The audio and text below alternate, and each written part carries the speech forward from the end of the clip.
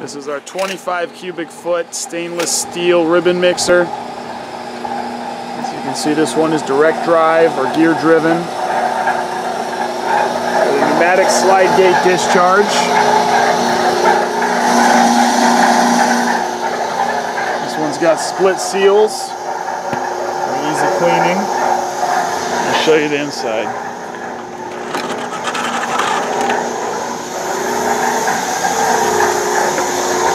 Here is the trough.